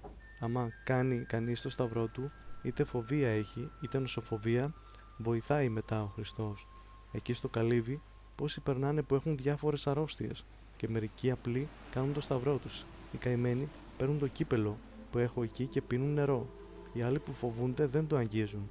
Ήρθε πριν από λίγες μέρες κάποιος που είχε πολύ μεγάλη θέση σε κάποια υπηρεσία. Τόσο φοβάται ο καημένος τα μικρόβια που έχει ασπρίσει τα χέρια του για να τα καθαρίζει με το ενόπνευμα. Ακόμη και το αυτοκίνητό του το έτρεβε με ενόπνευμα. Τον λυπήθηκα. Ξέρεις τι είναι να έχει τέτοια θέση και να κινείται έτσι; Του έδωσα λουκούμι και δεν το πήρε επειδή το έπιασα. Αλλά και το, στο κουτί να ήταν, πάλι δεν θα το έπαιρνε, γιατί θα σκεφτόταν ότι και στο κουτί θα το έβαλε κάποιος άλλος με τα χέρια του. Παίρνω το λουκούμι το τρίβω στα παπούτσια του και το τρώω. Του έκανα κάμποσα τέτοια και τρόμαξα να τον κάνω να ελευθερωθεί λίγο από αυτό. Να, και σήμερα ήρθε εδώ και μια κοπέλα που είχε νοσοφοβία και όταν μπήκε μέσα δεν πήρε ευχή γιατί φοβόταν μην κολλήσει μικρόβια και όταν έφυγε έπειτα από τόσα που της είπα για να την βοηθήσω πάλι δεν πήρε ευχή. Δεν σου φιλώ το χέρι μου λέει γιατί φοβάμαι μην κολλήσω μικρόβια. Τι να πεις, κάνουν έτσι μαύρη τη ζωή τους. Μεγαλύτερη αρρώστια είναι το να πιστέψει ο άνθρωπος στο λογισμό του ότι έχει κάποια αρρώστια. Ο λογισμός αυτός που δημιουργεί άγχος του κάνει να στεναχωριέται, να μην έχει όρεξη για φαγητό, να μην μπορεί να κοιμηθεί, να παίρνει φάρμακα και τελικά αρρωσταίνει ενώ ήταν καλά. Να είναι άρρωστος κανείς και να κάνει θεραπεία, αυτό το καταλαβαίνω, αλλά να είναι υγιής και να νομίζει ότι είναι άρρωστος και να αρρωσταίνεις στα καλά καθούμενα, αυτό είναι. Ένας λόγου χάρη, ενώ έχει και σωματική και πνευματική δύναμη, δεν μπορεί να κάνει τίποτε, γιατί έχει πιστέψει στο λογισμό που του λέει ότι δεν είναι καλά, με αποτέλεσμα να σβήνει σωματικά και πνευματικά. Δεν είναι ότι λέει ψέματα, αν ο άνθρωπος πιστέψει ότι κάτι έχει, πανικοβάλλεται, τσακίζεται και δεν έχει μετά κουράριο να κάνει τίποτε. Έτσι αχρηστεύεται χωρίς λόγο. Έρχονται μερικοί στο καλύβι που είναι τελείως τσακισμένοι μου λέει ο λογισμός ότι έχω AIDS, λένε, και το πιστεύουν. Τους ρωτάω, Μήπως συνέβη εκείνο, εκείνο, Όχι, μου λένε. Τότε άδικα στεναχωριέσαι. Πήγαινε να κάνεις μια εξέταση για να σου φύγει ο λογισμός. Και αν γίνει εξέταση και βρουν ότι έχω, λένε μερικοί, και δεν ακούν και βασανίζονται. Ενώ αυτοί που ακούν κάνουν εξέταση, βλέπουν ότι δεν έχουν τίποτε και να δείτε το πρόσωπό τους αλλάζει. Το κουράγιο επανέρχεται. Οι άλλοι από την στεναχώρια ξαπλώνουν στο κρεβάτι και ούτε να φαν δεν θέλουν. Εντάξει, έχεις AIDS. Για τον Θεό, δεν υπάρχει δύσκολο πρόβλημα. Αν ζεις πιο πνευματικά, εξομολογείσαι, κοινωνάς κτλ. θα βοηθηθείς. Πώς ξεκινάει γέροντα και νομίζει κάποιος ότι είναι άρρωστος; Σιγά σιγά καλλιεργεί αυτόν τον λογισμό. Πολλές φορές μπορεί να υπάρχει κάποια αιτία, αλλά να μην είναι κάτι σοβαρό. Βγάζει μετά και ο λογισμός κάτι ακόμη και το μεγαλοποιεί. Όταν ήμουν στη μονή στο Μίου, ήταν ένας οικογενειάρχης στην Κόνιτσα που νόμιζε ότι είχε φυματίωση. Δεν άφηνε ούτε τη γυναίκα του να πάει κοντά του. Μην πλησιάζει, της έλεγε, θα κολλήσεις. Σε ένα ξύλο κρεμούσε η καμένη το καλάθι με το φαγητό και του το έδινα από μακριά. Η φουκαριάρα είχε λιώσει. Τα παιδιά του τα κακόμοιρα από μακριά τον έβλεπαν. Αυτός εντωμεταξύ δεν είχε τίποτε. Αλλά επειδή ο ήλιος δεν τον έβλεπε, ήταν κλεισμένος μέσα και τυλιγμένος συνέχεια με τις κουβέρτες, ήταν κίστρινος και πίστευε ότι είχε χτυκιό. Σηκώνομαι και πάω στο κρεβάτι του. Μόλις με είδε, μου λέει: Μη με πλησιάζεις, καλόγερε, μην κολλήσεις κι εσύ. Και έρχεται κόσμος εκεί στο μοναστήρι. Έχω χτυκιό. Ποιος σου είπε, Μωρέ, ότι έχεις χτυκιό, του λέω. Η γυναίκα του έφερε να με κεράσει γλυκό καρύδι. Άνοιξε το στόμα σου, του λέω. Θα κάνεις υπακοή τώρα. Το άνοιξε. Δεν ήξερε τι θα κάνω. Βάζω το καρύδι μέσα στο στόμα του και το γυρνάω δύο-τρεις φορές και ύστερα το παίρνω και το τρώω. Μη, μη, θα κολλήσεις, φώναζε. Τι θα κολλήσω, τίποτα δεν έχεις, του λέω. Αν είχες πραγματικά χτυκιό, χαμένο το είχα να το κάνω αυτό. Σήκω να βγούμε έξω. Λέω στη γυναίκα του, πέταξε όλα τα φάρμακα. Κουβέρτες. Τον σηκώνω και βγαίνουμε έξω. Έπειτα από τρία χρόνια που ήταν κλεισμένος μέσα, κοιτούσε τον κόσμο παράξενα. Ύστερα σιγά σιγά πήγε και στη δουλειά του. Τι είναι ο λογισμός όταν τον καλλιεργείς, Γέροντα, πώς μπορεί να βοηθηθεί κανείς όταν νομίζει ότι πάσχει από κάτι, για να βοηθηθεί πρέπει να έχει πνευματικό, να του έχει εμπιστοσύνη και να του κάνει υπακοή. Θα πει τον λογισμό του και εκείνος θα του πει. Σε αυτό μη δίνεις σημασία, εκείνο πρόσεξέ το κλπ. Αν δεν έχει εμπιστοσύνη και δεν υπακούει, δεν μπορεί να του φύγει ο λογισμός. Ξέρεις τι είναι να του ζητούν βοήθεια και να μην κάνουν τίποτε οι ίδιοι; Ένας νέος που ζει ακατάστατα, έχει ψυχολογικά προβλήματα και ταλαιπωρείται. Έρχεται με κάτι μάτια κατακόκκινα από το τσιγάρο και ζητάει να τον βοηθήσω. Έχει και μία ψευτοευλάβεια. Ζητάει να του δώσω την εικόνα από το τέμπλο για ευλογία και μπαίνει μέσα στο κελί με το τσιγάρο. Βρε του λέω, τα μάτια σου από το τσιγάρο έγιναν κατακόκκινα, σαν του λυσιασμένου σκύλου. Ούτε γέροι δεν καπνίζουν εδώ μέσα. Εγώ λιβανίζω εδώ πέρα. Το δικό του αυτός. Έρχεται ζητάει βοήθεια και δεν βγαίνει από τον λογισμό του. Γιατί δεν με κάνεις καλά, μου λέει. Θέλει να γίνει καλά με μαγικό τρόπο, χωρίς ο ίδιος να κάνει καμία προσπάθεια. Εσύ δεν είσαι για θαύμα, του λέω. Δεν έχεις τίποτε. Πιστεύεις στο λογισμό σου. Αν έκανε υπακοή, θα βοηθιόταν. Έχω προσέξει ότι όποιος ακούει, τακ-τακ προχωράει και πάει καλά. Και αυτός και η δική του μετά είναι ήσυχοι. Μια φορά πήγε ένας ιερεύς σε ένα μοναστήρι και του είπαν να ψάλει, αλλά εκείνος αρνήθηκε. Γιατί του λένε δεν ψάλεις, Γιατί ο ψαλμός λέει «Ε υψώσεις του Θεού εν το λαρυγγί αυτών και ρομφέ δίστομη εν της χερσίν αυτών». Φοβόταν τη ρομφέα, ανύψωνε την φωνή του και επέμενε ότι ήταν κακό να ψάλει. «Βρε καλέ μου, βρε χρυσέ μου, δεν είναι έτσι», του έλεγαν οι άλλοι. Τίποτε αυτό στο δικό του. Ε, πώς να συνεννοηθείς με έναν τέτοιον άνθρωπο, τι να τον κάνεις; Ακόμη και αν αυτό που έλεγε αυτός ήταν σωστό και ο άλλος του έλεγε Όχι, δεν είναι έτσι, έτσι είναι και έκανε υπακοή στο λάθος του άλλου, πάλι θα έπαιρνε χάρη. Και μάλιστα μεγάλη χάρη γιατί ταπεινώθηκε. Πολλοί βασαλίζονται έτσι χρόνια, επειδή πιστεύουν στο λογισμό τους και δεν ακούνε. Όσα και να τους πεις, όσα και να τους κάνεις, όλα τα παίρνουν ανάποδα. Και δεν είναι να πιστέψει κανείς μια φορά στο λογισμό του, και το κακό σταμάτησε εκεί. Αλλά το κακό αυξάνει. Καλλιεργείται, καλλιεργείται και μπορεί να φτάσει στην τρέλα. Φτιάχνει παραδείγματος χάρη κάποιος ένα σπίτι και του λένε Πώς το φτιάχνεις έτσι, θα πέσει και θα σε πλακώσει. Επειδή είναι στην αρχή, αν ακούσει εύκολα, μπορεί να το χαλάσει και να το διορθώσει. Αν όμως το τελειώσει, πώς θα τον κρεμίσει μετά; Του λένε, θα σε πλακώσει, το βλέπει και αυτός ότι θα πέσει, καταλαβαίνει τον κίνδυνο, αλλά σκέφτεται ότι ξοδεύτηκε. Έκανε τόσο κόπο για να το φτιάξει και δεν το χαλάει. Και τελικά πλακώνεται μέσα. Αυτός μπορεί να βοηθηθεί. Αν θέλει, μπορεί να βοηθηθεί.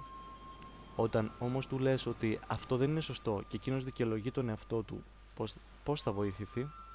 Α υποθέσουμε ένας νέος έχει ζάχαρο και επειδή δεν ξέρει πόσο κακό μπορεί να του κάνει, νομίζει ότι δεν είναι κάτι σοβαρό. Του λέει ο γιατρός: Το ζάχαρο βλάπτει και πρέπει να κάνεις δίαιτα. Αν τον ακούσει, δεν θα έχει προβλήματα. Αν όμως λέει: Α έχω ζάχαρο, θα τρώω γλυκά. Γιατί όταν τρώω γλυκά ζεσταίνομαι. Μπορώ να κοιμάμαι χωρίς κουβέρτα, να μπω μέσα στο χιόνι. Πώς να συνδεθώσει μαζί του, αφού επιμένεις στο δικό του. Γέροντα, είναι φυσιολογικό ένας νέος να πιστέψει στον λογισμό του. Ένας νέος, αν πιστεύει στον λογισμό του, έχει πολύ εγωισμό. Πώς θα το καταλάβει, Γέροντα, αν λόγω χάρη θυμηθεί μερικά περιστατικά από την παιδική του ηλικία που δείχνουν τη δόση εγωισμού, είχε από μικρός θα το καταλάβει. Παρατηρούσα δύο παιδάκια. Το ένα πήρε ένα μαξιλάρι από αφρολέξ και το σήκωσε φυσιολογικά. Πήγε για το άλλο να το σηκώσει και έκανε σαν να σήκωνε ένα σακί τσιμέντο. Αυτό έχει εγωισμό. Όταν όμως λίγο μεγαλώσει και καταλάβει ότι εκείνη την ενέργεια του ξεκινούσε από εγωισμό και το πεις στην εξομολόγηση, έρχεται η χάρη του Θεού, λυτρώνεται και βοηθιέται. Αλίμονο, ο Θεός δεν είναι άδικος. Όταν γέροντα από κάποια πείρα που έχω, βλέπω περίπου τι εξέλιξη θα έχει μια κατάσταση του εαυτού μου. Σε αυτό υπάρχει αυτοπεποίθηση; Να μην βγάζει συμπεράσματα μόνη σου. Ο Απόστολος Πέτρος, όταν τον κάλεσε ο Χριστός, περπάτησε πάνω στο νερό. Μόλις όμως του είπε ο λογισμός του ότι θα βουλιάξει, βούλιαξε. Βλέπε κατά Ματθαίον 14, στίχος 28-31. Και ο Χριστός τον άφησε. Αφού λες ότι θα βουλιάξεις, βούλιαξε. Και βλέπεις ο ταπεινός και θαύματα να κάνει, πάλι δεν πιστεύεις στον λογισμό του. Ήταν στην Ιορδανία ένας πολύ απλός παπάς που έκανε θαύματα, διάβαζε ανθρώπους και ζώα που είχαν κάποια αρρώστια και αμέσως γινόταν καλά. Πήγαιναν και μουσουλμάνοι σε αυτόν, όταν έπασχαν από κάτι και τους θεράπευε. Αυτός πριν λειτουργήσει, έπαιρνε ένα ρόφημα με λίγο παξιμάδι και μετά όλη τη μέρα δεν έτρωγε τίποτε. Κάποτε έμαθε ο Πατριάρχης ότι τρώει πριν από την θεία λειτουργία και τον κάλεσε στο Πατριαρχείο. Πήγε εκείνος χωρίς να ξέρει γιατί τον ζητάνε. Ώσπου να τον φωνάξει ο Πατριάρχης, περίμενε μαζί με άλλους σε μία αίθουσα. Έξω έκανε πολύ ζέστη, είχαν κλειστά τα παντζούρια και από μία τρύπα περνούσε μία κτίνα. Αυτός νόμιζε ότι είναι σκηνή. Επειδή είχε υδρώσει, βγάζει το ράσο του και το κρεμάει πάνω στην ακτίνα. Όταν το είδαν οι άλλοι που καθόταν εκεί, στην αίθουσα τα έχασαν. Πάνε και λένε στον Πατριάρχη. Ο παπάς που κολατσίζει πριν από τη θεία κοινωνία, κρέμασε το ράσο του πάνω σε μία ακτίνα. Τον κάλεσε μέσα ο Πατριάρχης και άρχισε να τον ρωτάει: Τι κάνεις, πώς πας, κάθε πότε λειτουργείς, πώς ετοιμάζεσαι για την θεία λειτουργία; Να, λέει, διαβάζω την ακολουθία του όρθρου, κάνω και μερικές μετάνοιες και ύστερα φτιάχνω ένα ρόφημα. Κολατσίζω λίγο και μετά λειτουργώ. Γιατί το κάνεις αυτό, τον ρωτάει ο Πατριάρχης; Άμα φάω λιγάκι πριν από την θεία λειτουργία, λέει εκείνος, όταν κάνω κατάλυση, πάει ο Χριστός επάνω. Ενώ αν φάω μετά τη θεία λειτουργία, πάει ο Χριστός από κάτω. Με καλό λογισμό το έκανε. Του λέει τότε ο Πατριάρχης Όχι δεν είναι σωστό αυτό Πρώτα να κάνεις κατάλυση και έπειτα να τρως λίγο. Έβαλε μετάνοια και το δέχτηκε. Θέλω να πω Παρά που είχε φτάσει σε τέτοια κατάσταση να κάνει θαύματα Το δέχτηκε. Απλά δεν είχε δικό του θέλημα. Ενώ αν πίστευε στο λογισμό του μπορούσε να πει Εγώ διαβάζω ανθρώπους και ζω άρρωστα και γίνονται όλα καλά. Κάνω θαύματα, τι μου λέει αυτός; Έτσι που το σκέφτομαι είναι πιο καλά, γιατί αλλιώς πάει το φαγητό πάνω από τον Χριστό. Έχω καταλάβει ότι η υπακοή πολύ βοηθάει και λίγο μυαλό να έχεις, αν κάνεις υπακοή γίνεται φιλόσοφος. Είτε έξυπνος, είτε κουτός, είτε υγιής, είτε άρρωστος, πνευματικά ή σωματικά. Είναι κανείς να βασανίζεται από λογισμούς, αν κάνει υπακοή, λεφερώνεται. Λύτρωση είναι η υπακοή. Ο μεγαλύτερος εγωιστής είναι αυτός που ακολουθεί τους λογισμούς του και δεν ρωτάει κανέναν. Αυτοκαταστρέφεται. Μπορεί εκεί κάποιος να είναι έξυπνος, τετραπέρατος, αλλά αν έχει θέλημα αυτοπεποίθηση και φιλαυτία, βασανίζεται συνέχεια. Μπερδεύεται άσχημα και του δημιουργούνται προβλήματα. Για να βρει τον δρόμο του, πρέπει να ανοίξει την καρδιά του σε κάποιον πνευματικό και να ζητήσει ταπεινά την βοήθειά του. Μερικοί όμως, αντί να πάνε στον πνευματικό, πάνε στον ψυχίατρο αν ο ψυχίατρος είναι πιστός, θα τους συνδέσει με κάποιον πνευματικό. Αν όχι, θα τους δώσει μόνο χάπια. Μόνο όμως τα χάπια δεν λύνουν το πρόβλημα. Χρειάζεται και πνευματική βοήθεια. Για να μπορέσουν να το αντιμετωπίσουν σωστά και να καλυτερέψει η κατάστασή τους και για να μην ταλαιπωρούνται. Διάβασα γέροντα ότι οι Έλληνες στον Ιταλικό πόλεμο πρώτα προσπαθούσαν να χαλάσουν το οχυρά του εχθρού και ύστερα έκαναν επίθεση. Και ο διάβολος το ίδιο κάνει. Όπως δηλαδή ο εχθρός, πριν κάνει επίθεση με το πυροβολικό, βομβαρδίζει με την αεροπορία τα οχυρά για να τα σπάσει. Έτσι και ο διάβολος πρώτα βομβαρδίζει με λογισμούς τον άνθρωπο και ύστερα του επιτίθεται. Αν δεν χαλάσει το λογισμό του ανθρώπου, δεν επιτίθεται, γιατί ο άνθρωπος αμήνεται με τον καλό λογισμό. Είναι στο αμπρί του. Ο αριστερός λογισμός είναι ξένο σώμα και πρέπει ο άνθρωπος να προσπαθήσει να το αποβάλει. Αυτόν τον αγώνα όλοι έχουμε την δύναμη να τον κάνουμε. Κανένας δεν δικαιολογείται να πει ότι είναι αδύνατος και δεν μπορεί να το κάνει. Δεν είναι κασμάς ούτε βαριά για να μην μπορεί να το σηκώσει επειδή τρέμουν τα χέρια του. Δεν το βλέπω δύσκολο το να παίρνουμε όλα τα πράγματα δεξιά. Γιατί να εξετάσω λόγου χάρη την ιδιοτροπία του άλλου, μπορεί στην πραγματικότητα αυτό που κάνει να μην είναι ιδιοτροπία, αλλά να το κάνει επίτηδες για να ταπεινωθεί. Γέροντα ανησυχώ γιατί όλο αριστερά δουλεύω, αγωνίζομαι, αλλά δεν μπορώ να γυρίσω δεξιά. Το να αναγνωρίζεις ποιοι λογισμοί δεν είναι καθαροί, να ανησυχείς και να αγωνίζεσαι να τους απομακρύνεις.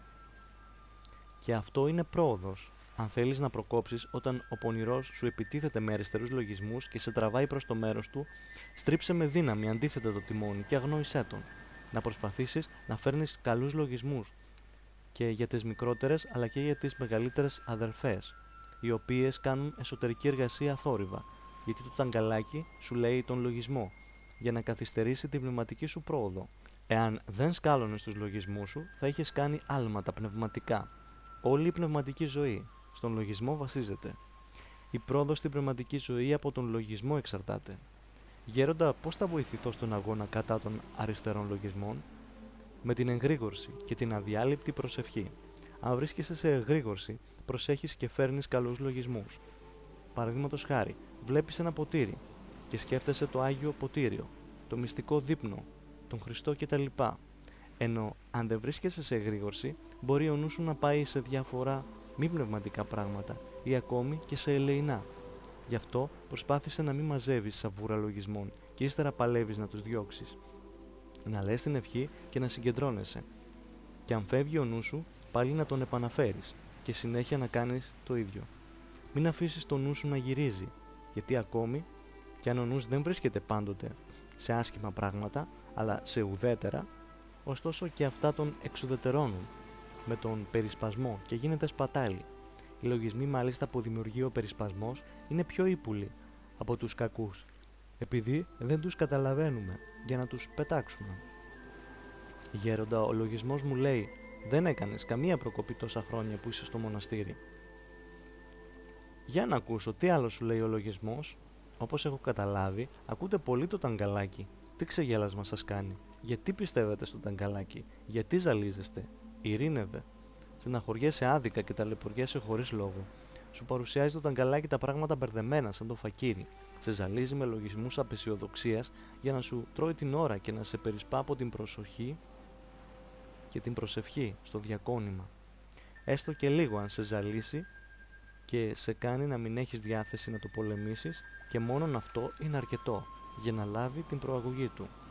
Προσπάθησε όταν εργάζεσαι μόνη σου να έχεις το εξής τυπικό ψαλτική, δοξολογία, ευχή νοερά ή δυνατά, ώστε να αποφύγεις τη μουρμούρα των λογισμών, δηλαδή να αλλάζεις θέμα. Αφού ο διάβολος αλλάζει θέμα, γιατί να μην τον αλλάξουμε κι εμείς. Σας έχω πει και άλλη φορά ότι επάνω σε κάποια συζήτηση, τη στιγμή που είναι να πω στον άλλον αυτό που θα τον βοηθήσει, έρχεται κάποιος και διακόπτει, γίνεται κάποιος θόρυβος κτλ. Για να αναγκαστώ να σταματήσω αφού ο πειρασμός κάνει τέτοια σχέδια, γιατί να μην κάνουμε και εμείς σχέδια στον πειρασμό; Να είστε έξυπνες, να κοροϊδεύετε το ταγκαλάκι. Γέροντα με ταλαιπωρεί η λύπη, η ακιδεία. Περνώ μαρτύριο. Μαρτύριο πριν από το μαρτύριο. Εσύ έχεις αυτοπεποίθηση. Σου έχουν γίνει κατάσταση οι αριστεροί λογισμοί. Γι' αυτό παιδεύεσαι. Έχεις ανάγκη από δεξιούς, καλούς λογισμούς. Πρέπει να μετατρέψεις τις πονηρές μηχανές του εργοστασίου σου σε καλές μηχανές. Η καλύτερη επιχείρηση είναι να φτιάξει ο άνθρωπος ένα εργοστάσιο καλών λογισμών. Τότε ακόμη και τα άσχημα θα τα φτιάχνει ο νους του καλά. Παραδείγματος χάρη, έναν άνθρωπο, αν τον δεις σαν ψυχή, σαν άγγελο, ανεβαίνεις αγγελικά στον ουρανό και η ζωή σου είναι πανηγύρι. Αν τον δεις αρκικά, κατεβαίνεις στην κόλαση. Μερικές φορές γέροντα, όταν βάζω έναν καλό λογισμό, σε λίγο μου έρχεται ένας αριστερός λογισμός και μου τα χαλάει όλα. Μήπως δεν το κάνω από την καρδιά μου; Σκοπός είναι να το κάνεις από την καρδιά σου και αν σου έρθει αριστερός λογισμός να πεις: Αυτός είναι αλότριος. Πρέπει να τον διώξω. Τώρα υπέγραψα. Πάει. Τελείωσε. Όταν γέροντα με αγώνα έχω διώξει έναν αριστερό λογισμό, πώς γίνεται και επανέρχεται αφού τελείωσε το θέμα; Ναι, το θέμα τελείωσε, αλλά το ταγκαλάκι δεν τελείωσε. Δεν πεθαίνει ο διάβολος ποτέ. Έλεγε ένα γεροντάκι. Ο σκύλος, μια-δυο κλωτσιές αν του δώσεις, φεύγει. Ο διάβολος δεν φεύγει, επιμένει. Εκεί, εκεί. Ανάβω να κερί τους Αγίους του κελιού για να φύγει και μου λένε οι δαίμονες. Για μας το άναψες το κερί. Βρε σαβούρα, που για εσά, για τους Αγίους το άναψα. Ναι, όμως εμείς αναγκάσαμε, μου λένε. Γέροντα, όταν συμβαίνει κάτι δυσάρεστο σε κάποιον και αρχίζει να λέει Γιατί Θεέ μου να μου συμβεί αυτό, αυτός ο άνθρωπος βοηθιέται; Πώς να βοηθηθεί, η βάση είναι να τα ερμηνεύει ο άνθρωπος όλα με καλό λογισμό, μόνον τότε ωφελείται. Είναι μερικοί που έχουν καλή μηχανή, πολλές προποθέσει για πνευματική ζωή, αλλά το τιμόνι τους έχει λάθος κατεύθυνση. Αν γυρίσουν το τιμόνι στην κατεύθυνση των καλών λογισμών, προχωρούν μετά στη σωστή κατεύθυνση, σταθερά. Γέροντα, οι καλοί λογισμοί έρχονται μόνοι τους ή πρέπει να τους καλλιεργώ; Πρέπει να τους καλλιεργείς, να ακολουθείς τον εαυτό σου, να τον ελέγχεις και να προσπαθείς όταν ο εχθρός σου φέρνει κακούς λογισμούς να τους διώχνεις και να τους αντικαθιστάς με καλούς λογισμούς. Όταν αγωνίζεσαι έτσι, θα καλλιεργηθεί η διάθεσή σου και θα γίνει καλή. Τότε ο Θεός, βλέποντας την καλή σου διάθεση, θα συγκαταβεί και θα σε βοηθήσει. Οπότε οι κακοί λογισμοί δεν θα βρίσκουν μέσα σου τόπο. Θα φεύγουν και θα έχεις πλέον φυσιολογικά καλούς λογισμούς. Θα αποκτήσεις μια συνήθεια προς το καλό θα έρθει η καλοσύνη στην καρδιά σου και τότε θα φιλοξενείς μέσα σου τον Χριστό. Αυτό όμως δεν γίνεται από την μία μέρα στην άλλη. Χρειάζεται χρόνος και συνεχής αγώνας για να λάβει η ψυχή των Στέφανο της νίκης. Τότε πια ο πόλεμος εξαλείφεται για πάντα. Διότι οι πόλεμοι είναι ξεσπάσματα εσωτερικής ακαταστασίας που την εκμεταλλεύονται οι προπαγάνδες των εχθρών.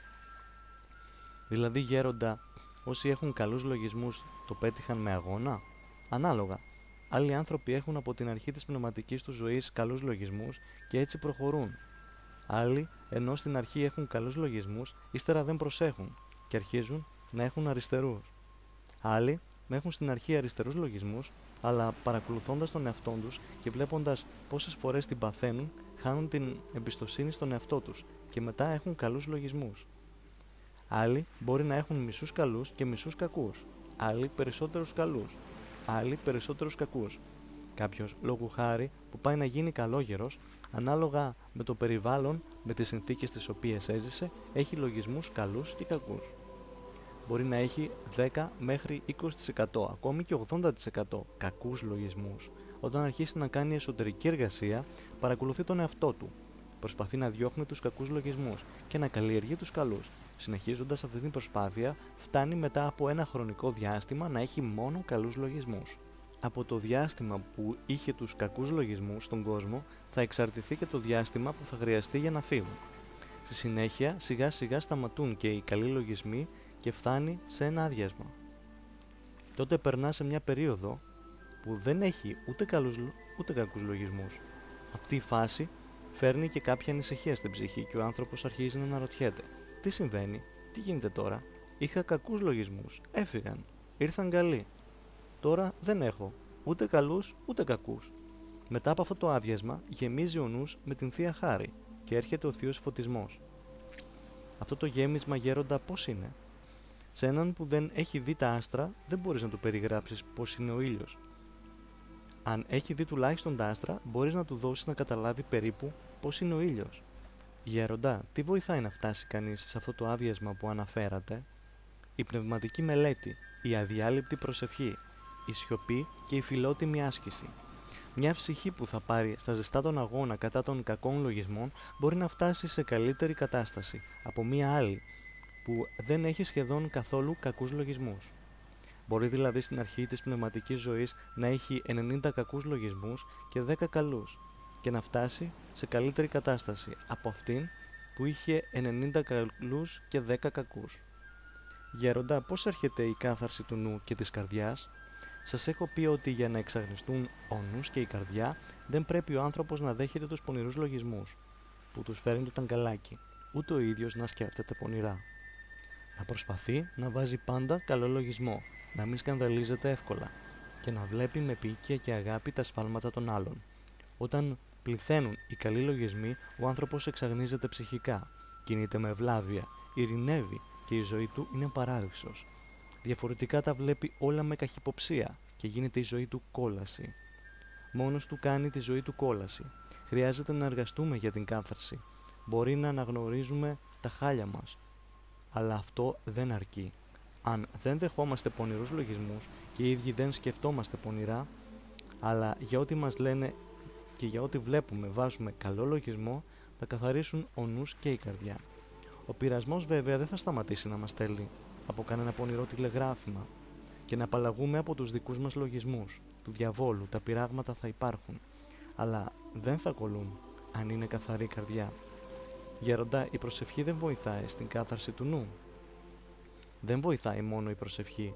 Το να καίει κανείς κι κιλά λιβάνι όταν προσεύχεται, αν ο νους του είναι γεμάτος από κακούς λογισμούς, για τους καλούς δεν ωφελεί. Από το νου κατεβαίνει το τηλεγράφημα στην καρδιά και κάνει τον άνθρωπο θηρίο. Ο Θεός θέλει να έχουμε καρδιά καθαρά και η καρδιά μας είναι καθαρή όταν δεν επιτρέπουμε να περνάει από το νου μας κακός λογισμός για τους άλλους. Γέροντα, πρώτα φέρνει ο άνθρωπος καλό λογισμό και ύστερα βοηθάει ο Θεός. Κοίταξε, μόνο όταν ο άνθρωπος βάζει καλό λογισμό δικαιούται την Θεία Βοήθεια.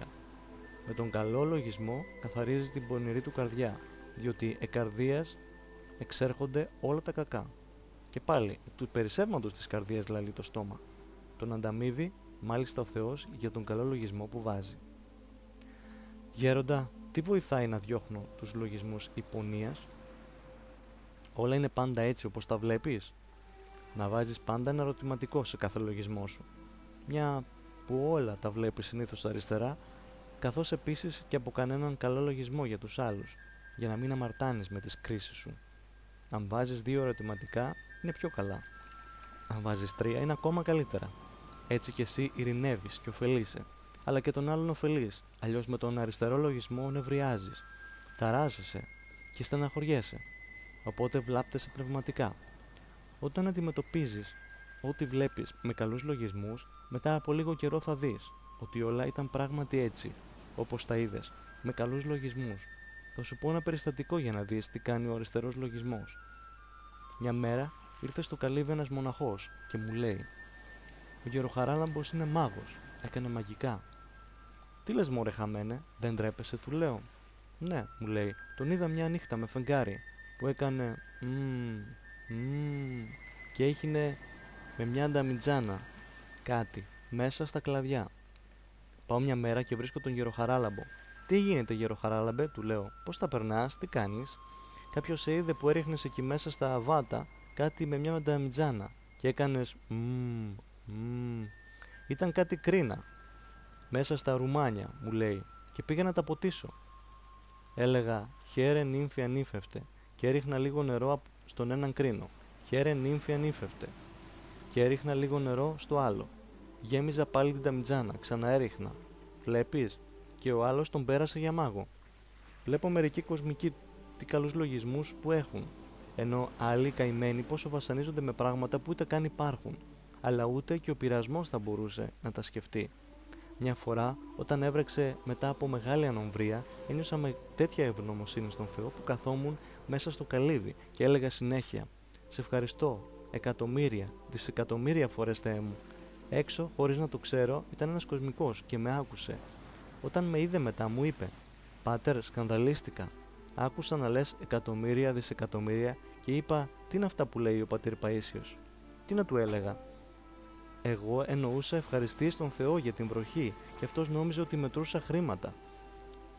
Και αν ήταν κανένας άλλος θα μπορούσε να έρθει και να με ληστέψει το βράδυ και να μου δώσει και ένα γερό ξύλο και τελικά δεν θα έβρισκε τίποτε. Μια άλλη φορά είχε έρθει κάποιος που είχε ένα άρρωστο παιδί. Τον πήρα να τον δω μέσα στο κλεισάκι. Όταν άκουσα το πρόβλημά του, του είπα για να τον βοηθήσω. Κάτι πρέπει να κάνεις κι εσύ για να βοηθηθεί το παιδί σου. Μετάνοιες δεν κάνεις. Νηστεία δεν κάνεις. Χρήματα δεν έχεις για να κάνεις ελεημοσύνες. Πες τον Θεό, Θεέ μου, δεν έχω κανένα καλό να θυσιάσω για την υγεία του παιδιού μου. Θα προσπαθήσω τουλάχιστον να κόψω το τσιγάρο. Ο καημένος συγκινήθηκε και μου υποσχέθηκε πως θα το κάνει. Πήγα να του ανοίξω την πόρτα για να φύγει και εκείνος άφησε το τσακμάκι και τα τσιγάρα μέσα στο εκκλησάκι κάτω από την εικόνα του Χριστού. Εγώ δεν το πρόσεξα. Μετά από αυτόν μπήκε ένας άλλος, νεαρός στο εκκλησάκι. Κάτι ήθελε να μου πει και ύστερα βγήκε έξω και κάπνιζε. Του λέω: Παλικάρι, δεν κάνει να καπνίζεις εδώ. Πήγαινε λίγο πιο πέρα. Μέσα στην εκκλησία επιτρέπεται να καπνίζεις. Μου λέει. Αυτός είχε δει το πακέτο με το τσακμάκι που είχε αφήσει ο πατέρας του άρρωστου παιδιού που έδωσε λογισμό ότι καπνίζω. Τον άφησα να φύγει με το λογισμό του. Καλά, αν κάπνιζα και μέσα στην εκκλησία θα κάπνιζα. Βλέπετε τι είναι ο λογισμός.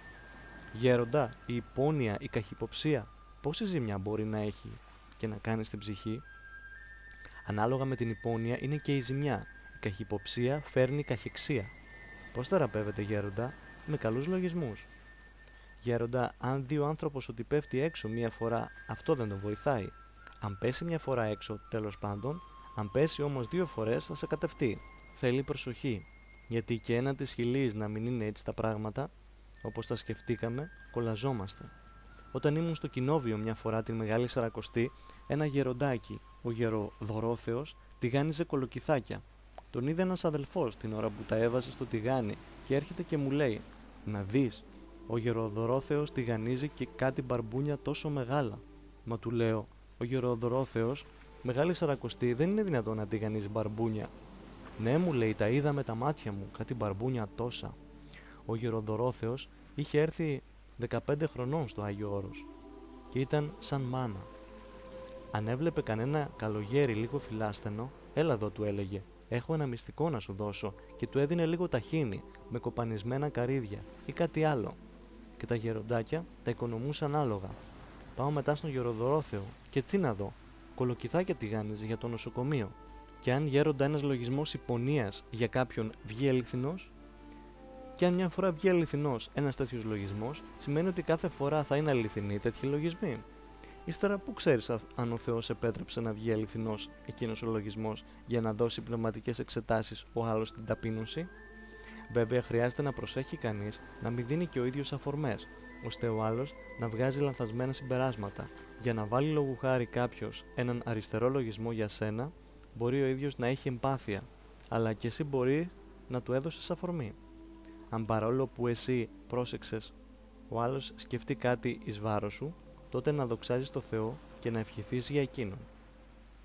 Γέροντα, όταν έρχεται ένας λογισμός υπερηφανίας, υποφέρω. Τον κρατάς μέσα σου; Ναι.